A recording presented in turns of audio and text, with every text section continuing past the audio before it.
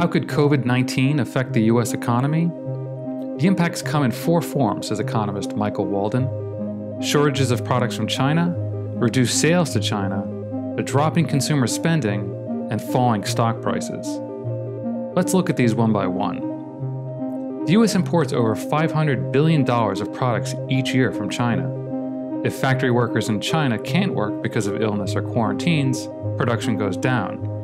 This can already be seen in shortages of drugs, medical products, bicycles, and board games. On the flip side, US companies sell over $100 billion of products like computer chips and soybeans to China. These sectors already took a hit from the US China trade war of the last two years.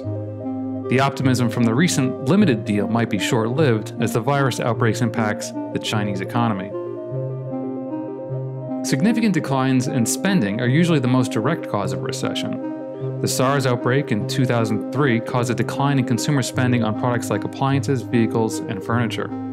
However, there might be two positive effects a drop in gas prices and a reduction in interest rates.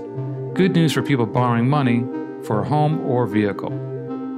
One thing traders and investors do not like is uncertainty. No one knows how bad the outbreak will get and what the impact might be.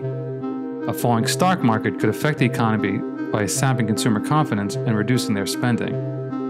As long as US consumers continue to spend, the economy will continue to expand, and there's little risk of recession. If the stock market tumbles further, however, all bets may be off.